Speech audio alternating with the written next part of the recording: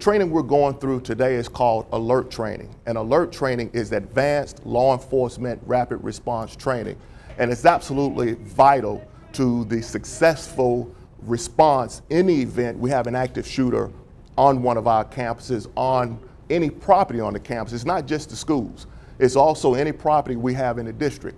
And it's preparing our officers to come together and respond in the event of having a crisis at one of our locations. Well, the purpose of the, the training is to do active shooter, uh, realistic type training to ensure that we're preparing our officers to respond to an active shooter if the event occurs. The key is, is the response, getting our local partners involved as well as pulling officers from other schools as a resource so that we can uh, consolidate on one particular area and neutralize the individual who's uh, perpetrating the, the offense. I, I just want to say that we're extremely excited about the opportunity. Uh, you rarely get an opportunity to pull in uh, your federal partners to give you some realistic training.